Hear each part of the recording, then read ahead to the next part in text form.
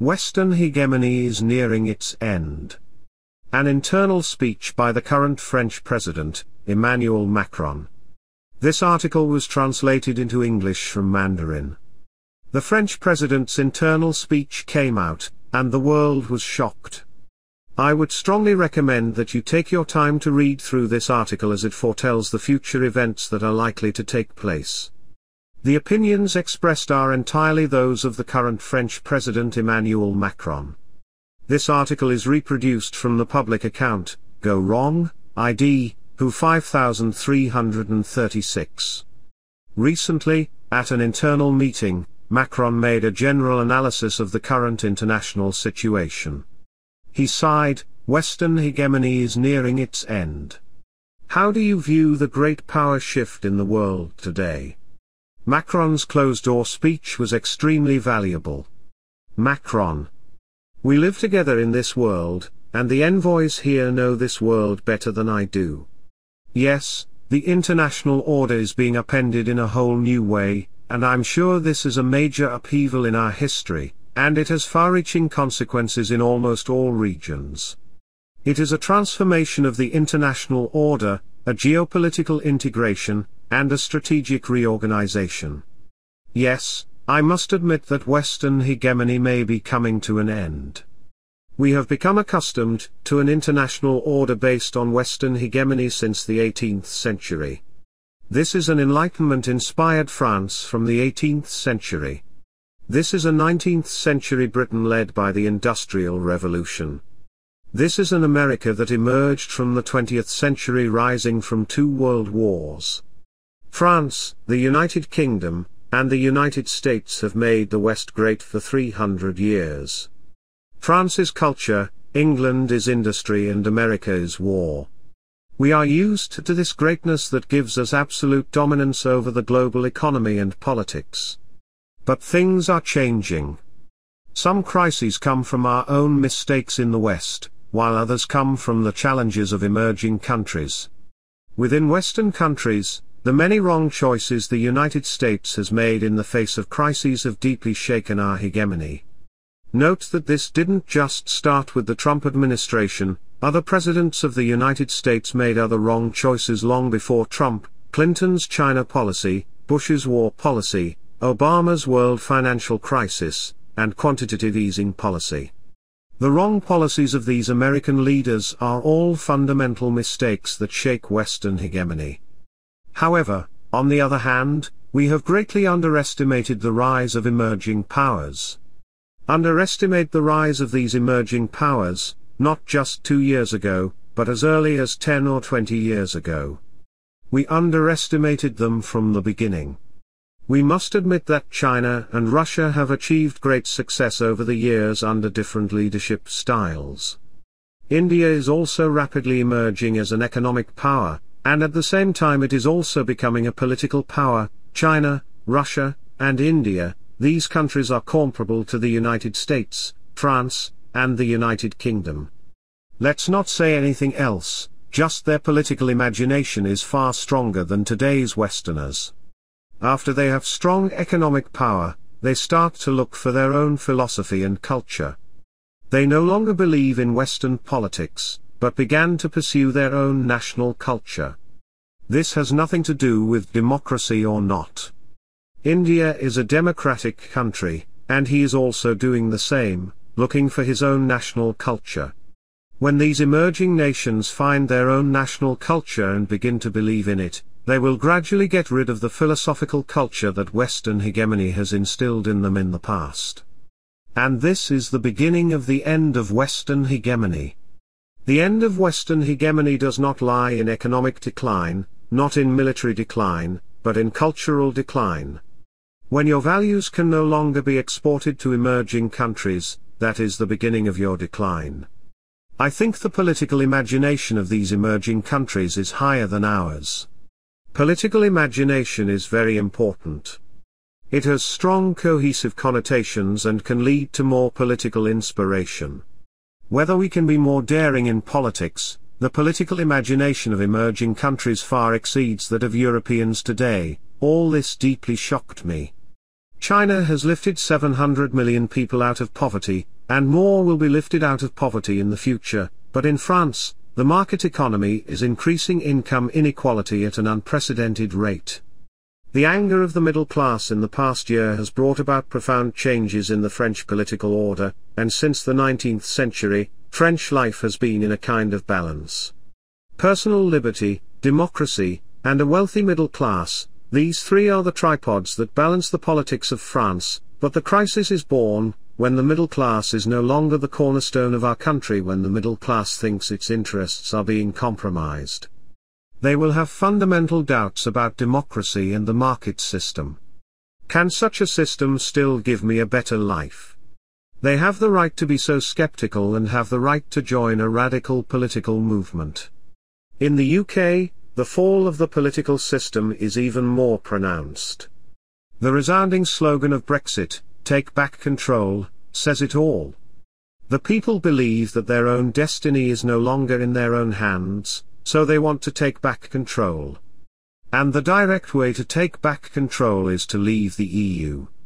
They hate the EU, they hate the old-fashioned politics, and they want something more politically imaginative. In the final analysis, the political system of the past failed to benefit the British and even made their lives worse and worse, but the political leaders at the top did not realize this. So, they failed. As for the United States, although Americans belong to the Western camp, they have always had different humanitarian standards, implying religion, from Europe. Americans' sensitivity to climate issues, to equality, to social balance, does not exist in the same way as Europe does, implying that the gap between rich and poor in the US is much larger than in Europe. There is a clear gap between American civilization and European civilization. Even though the United States and Europe are deeply aligned, our differences have always existed. Trump's coming to power just magnified the original differences. I must stress that Europe is different from the United States. Of course, the European civilization plan cannot be decided by Hungarian Catholics or Russian Orthodox Christians, but Europe's long-term follow-up with the United States to expel Russia from the European continent, is not necessarily correct. The United States needs to confront Russia and Europe, but does Europe need it? Europe cooperates with the United States to expel Russia, which may be the biggest geopolitical mistake of Europe in the 21st century. The result of expelling Russia is that Putin has no choice but to embrace China, and this just gives China and Russia a chance to warm up. Let one of our competitors combine with another to create a huge trouble, which is what the Americans do. If Europe hadn't expelled Russia, Russia's policies would never have been so anti-Western. Now, in terms of geopolitics, it is impossible to give so much help to the great powers of the East. But Europe's problem is the military. Because of the existence of NATO, it becomes very difficult for Europe to form another European army, and as long as the European army does not exist, Europe will be controlled by the political orders of the United States. Sadly, when I talked about this with German Chancellor Angela Merkel, we were all pessimistic. In Europe, no one has the ability to form a European army, and no one has the ability to form a European army. Policy, give investment. But the European military is the key point to check and balance the United States. Without the European military, Europe would have no real independence at all. Yes, the United States is an ally, our long-term ally, but at the same time, he is also an ally who has been kidnapping us for a long time. France is a powerful diplomatic power, a permanent member of the Security Council, and the heart of the European Union. Taking Russia out of Europe may be an absolutely far-reaching strategic mistake. If France cannot pull Russia back into Europe, it will also be reluctant to continue its engagement, fueling tensions and isolating Russia. At present, neither Russia nor that Eastern power has any interest in forming an alliance, but no one is sure if the Western world is pressing harder and harder. Will China and Russia still say with certainty that we will not form an alliance? Is the enemy of our friend necessarily our enemy? Russia, is the enemy of the United States, so must he be the enemy of Europe. We need to build Europe's own new trust and security architecture because if we don't ease relations with Russia, there will be no peace on the continent. Americans say a country that invests heavily in weapons and equipment, has a declining demographic, an aging country. Americans ask me, should we be afraid of this country? Should we reconcile with such a country? I asked the Americans, how about swapping the positions of Russia and Canada? In addition to economic turmoil and geopolitical turmoil, the third major turmoil we are now experiencing is undoubtedly the technological revolution turmoil. Big data internet, social media, and artificial intelligence, when big intelligence, spreads out in globalization, the progress of information technology is developing at an unprecedented speed. One problem with the globalization of intelligence is the globalization of emotion, violence, and even hatred. The technological revolution has brought us profound anthropological changes, and it has also created a new space for us, a space that requires human beings to re-examine and formulate rules. This is a new technology rule space that the world has never touched, and it is also a rule of the Internet International Order that everyone should agree with and participate in. But before this new set of rules is fully established, the new technological revolution has brought us not only economic imbalances but also anthropological class contradictions and ideological contradictions. Ultimately, it will bring heavy tearing and instability to our proud democracy. All the envoys here can see that economic turmoil, geopolitical turmoil, information technology turmoil, and democratic turmoil. All these upheavals are happening at the same time, but what do we do? What do we need to do now? Are we going to continue to be viewers, to be commentators, or to take on the responsibilities we have to take? But one thing is for sure, if we all lose our political imagination and let the habits of the past decades or even centuries dictate our strategies, then we a president of a republic, a minister, a diplomat, a soldier, everyone in this room continues to do it the way it was in the past. That is for sure, we're going to lose control. And after out of control, what awaits us is to disappear. Civilization fades away, Europe fades away, and the moment of Western hegemony fades away with it. Ultimately, the world will revolve around two poles, America and China, and Europe will have to choose between these two rulers. Europe will lose control completely, so I believe in only one thing so far, and that is bravery, the political strategy of daring to break through and take risks. This kind of political strategy, which is different from the old Europe in the past, will lead to the failure of many things now, and there are also a large number of commentators in the country, and critics who say that it will not succeed. But what is fatal is not the comments and criticisms, but the loss of brave heart and imaginative thinking, and I think that only by trying some brave and imaginative politics can profoundly reflect the French national spirit, the best method. Only France can re-establish a profound European civilization, only France can consider the issue of European survival from the perspective of European strategy and international politics. The French spirit is a tenacious spirit of resistance and the pursuit of a different world. The spirit of resistance will never succumb to the inevitability and adaptability of affairs. This kind of implementation is carried out in the extraordinary spirit of the French people's soul, and it has shaped the historical trend that only France can change the historical trend that Europe is gradually being swallowed by two poles. Next, France will have several important agenda directions. The first, is the Eurasian agenda. France will promote a better integration of China's new Silk Road with the European connectivity strategy, but this integration must be done with respect for our sovereignty and rules. Ten years ago, we made some mistakes in the integration of Europe and Asia. When Europe was dealing with the major financial crisis, in order to obtain assistance, it was forced to carry out privatization to reduce some of Europe's sovereignty. From Italy in the south to England in the north, but we don't blame smart Chinese, we can only blame ourselves for being stupid.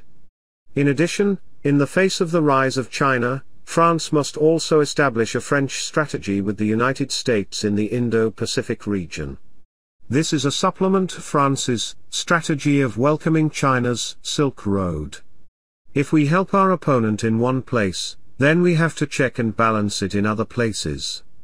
This is the usual way of politics. France must establish French influence in the Indo-Pacific region to balance the rise of China's power in the region. After all, France has millions of residents and nearly 10,000 soldiers in the region. France wants to become one of the main maritime powers in the sea. The second important agenda of France is to give priority to the establishment of European sovereignty. I have talked to many people that European sovereignty is by no means an empty word, but we have already made the mistake of leaving the voice of sovereignty to the nationalists. Nationalists by no means represent our sovereignty, which is a good word, and represents the core of our democracy. But if the government loses control over everything, there will be nothing left for sovereignty. So nationalists have the right to have their voices heard, but they in no way represent European sovereignty. For decades, Europe has built a strong and friendly market, but at the same time, we are also the most open and naive. And when we discuss European sovereignty, we must also include the United Kingdom very deeply. Regardless of the final outcome of Brexit, European sovereignty includes the United Kingdom. The other direction of European sovereignty is national defense. Regarding European defense, there has been no progress since the 1950s, and it is even forbidden to discuss. But it's time to build an initiative with more national defense sovereigns, relying on European funds and European armies. I think this is the best time in decades to discuss European defense sovereignty, which requires all the envoys here to work harder. Another focus of European sovereignty is Europe's thinking about borders, which will also extend to the topic of population and immigration. As Europe has experienced an unprecedented migration crisis since 2015, we must move away from the emergency management regime for refugees in order to create a sustainable talent landing mechanism. More importantly, we should work with the International Organization for Migration to revive the immigration filtering work we did in Paris. The last part, is about economic and financial sovereignty. We are now actively talking about Iran and continue to defend our claim to the Iranian agenda. But the US dollar has its speciality, even if we decide to protect Iran, our company will depend on the US dollar to move forward. Note, I'm not saying we have to fight the dollar, but we need to build a real sovereignty of the euro. But this process is too slow, we are progressing too slowly. And in the establishment of digital C, Europe also needs to reconsider, because digital currency will also affect future economic sovereignty. Reconstructing European sovereignty, economic sovereignty, national defense sovereignty, and border sovereignty is the only way to truly strengthen European integration without interference from other countries outside. Ladies and gentlemen, let us have a strong and coherent diplomacy, and at a time when Western hegemony is being challenged, we should use our respective political imaginations. Take control of Europeans' own destiny and return control to our people. I count on you to play an important role in diplomacy, and I am grateful for these requests. I will always be by your side to keep France at the heart of leading a range of important political issues. Make our envoys have a strong representative power all over the world to defend our national interests, surpass our national interests, and let our values spread all over the world. I thank you. Long live the Republic, long live France. Emmanuel Macron. This article is very important, be sure to read it carefully.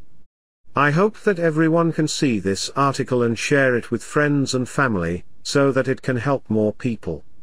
This podcast was brought to you by BG Media App and barglobal.net. Please subscribe, like, and share this video. It does help support our productions.